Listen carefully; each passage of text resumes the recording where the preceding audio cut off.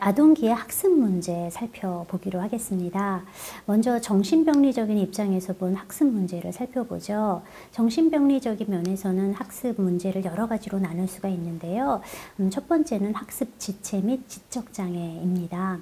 음, 이거는 어떤 이유로 인해서 지능 지수가, 그러니까 소위 말하는 IQ가 70 이하로 낮은 아동, 혹은 기질적인 뇌 손상을 가져서 지적 능력에 제한이 있어서 학습 성취도가 떨어지는 경우를 학습 지체 혹은 지적 장애라고 얘기를 하고요. 두 번째 경우는 학습 지진입니다. 지능이 70에서 85 사이 경계선급 지능으로 낮은 상태에 이어서 학습을 하는데 시간이 오래 걸리는 어, 이제 그런 아이들이 여기에 해당이 되고요. 학습 부진도 있는데요. 이런 경우는 학습 지진이나 지적 장애와는 달리 정상적인 지능 지수를 갖고 있고, 있고요. 신경계 이상도 전혀 없지만 정서적인 문제, 예를 들어서 우울, 불안, 강박과 같은 정서적인 문제나 음, 가정불화, 빈곤, 결손과정, 스트레스와 같은 사회 환경적 요인 때문에 학습 성취도가 떨어지는 경우를 말합니다. 일단, 일단 이러한 환경적, 정서적 요인들이 제거되거나 치료적 개입을 통해서 교정이 되면 정상적인 학습 능력과 학습 성취도를 보이는 경우라고 할 수가 있죠. 그래서 교사들이 가장 도움을 줬을 때 좋은 결과를 보이는 게 바로 학습 부진화라고 할 수 있겠습니다. 학습 장애도 있는데요. 음, 정상적인 또는 정상 이상의 지능을 보여주고 있고요. 정서적 혹은 사회 환경적 문제가 없음에도 학업 성취도가 떨어지는 경우에요.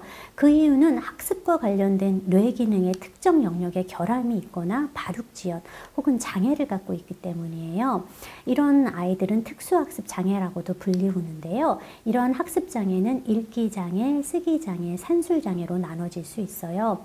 우리가 많이 알고 있는 ADHD를 지닌 아이들 중 상당수가 이러한 학습 장애를 동반하죠.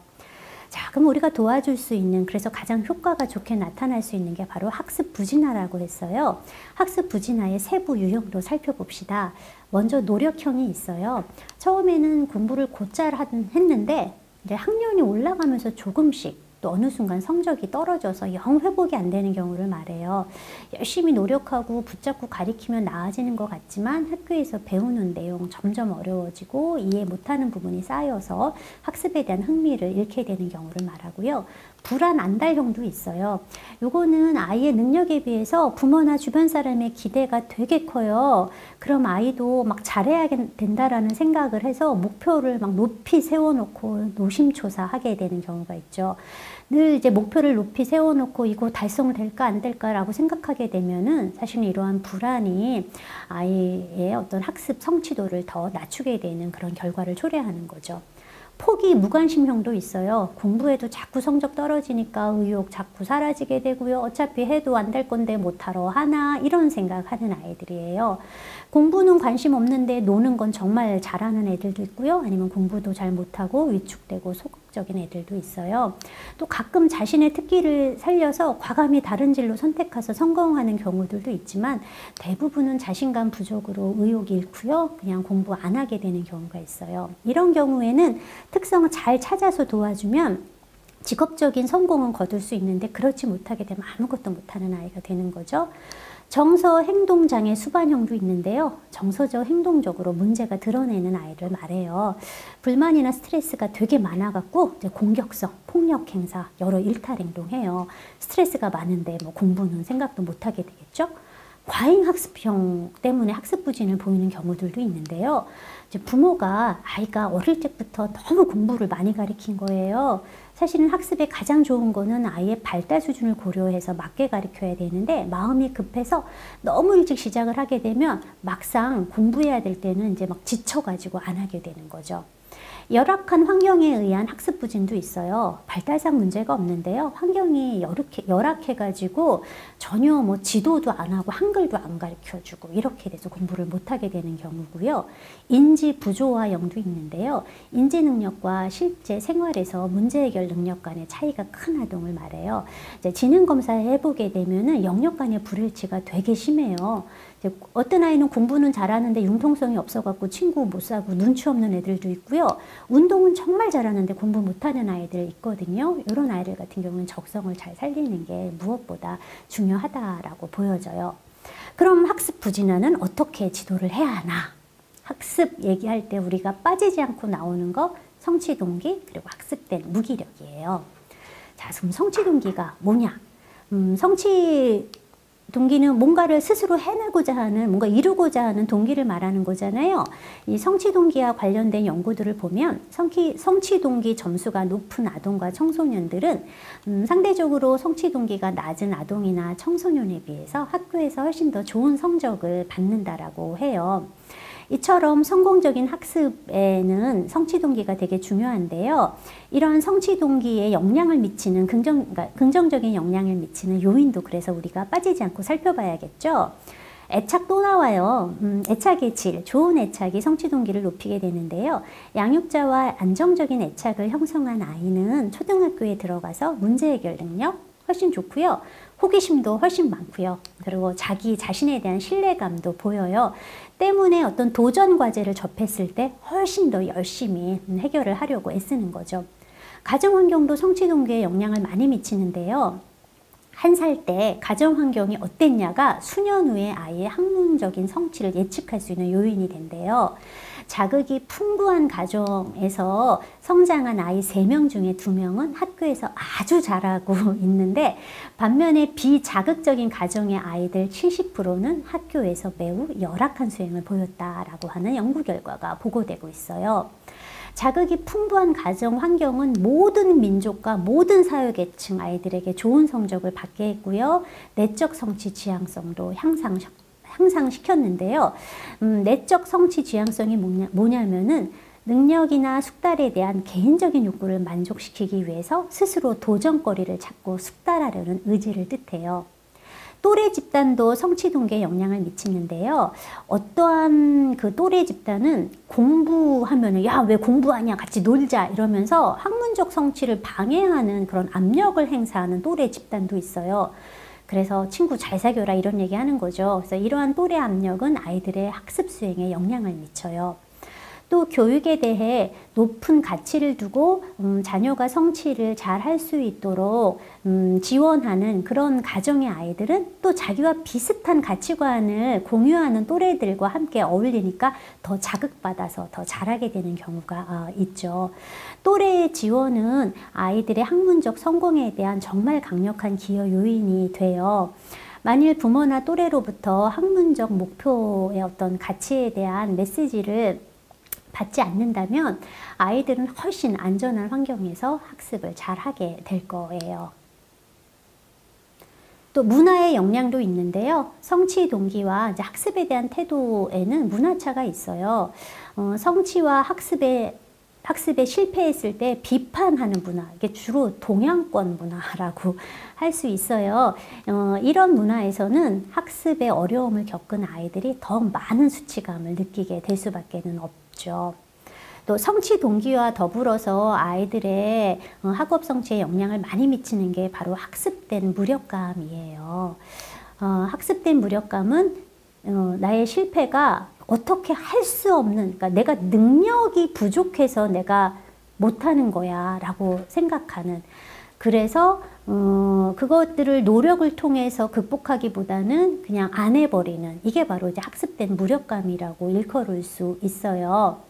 만약 부모나 교사가 아이가 성공했을 때 열심히 노력한 거에 대해서 칭찬해주고 실패했을 때 너가 능력이 부족해서 못한 것이다 라고 비난하게 되면 아이들은 무의식적으로 이제 무기력한 성취 지향성을 보이게 된다라고 해요. 4살이나 6살 사이의 유아기 아이들도요, 실패에 대해서 자주 처벌을 받는다거나 자신의 능력에 대해서 회의를 갖게 되고 비난을 받게 되면 이제 무기력해지는 모습을 드러낸다라고 하는 거죠. 그러면 이렇게 음, 학습된 무기력이 있는 아이들을 어떻게 지도해야 될까? 어, 이게 이제 자신이 능력이 부족해서 실패했다라고 생각하는 거니까 능력이 부족하면 어떻게 할 수가 없잖아요. 어, 그래서 자신의 어떤 문제에 대한 원인을 조금 더 노력의 부족으로 바꾸게 하는 것들이 어, 한 가지 방법이 될 수가 있어요. 요거는 이제 귀인 재훈련이라고 명명을 했는데요. 부모와 교사들이 아이가 생각, 그러니까 성공을 했을 때, 와, 너가 이렇게 문제를 잘 해결하고 그러려고 정말 많이 노력했구나. 이런 거 막 칭찬해 주고요. 실패했을 때는 너가 능력이 없어서가 아니라 어, 너가 조금 충분히 노력하지 못한 거, 생각하지 못한 거 이런 부족을 강조를 한다면은 아이는 자신은 충분한 능력이 있는 존재고요.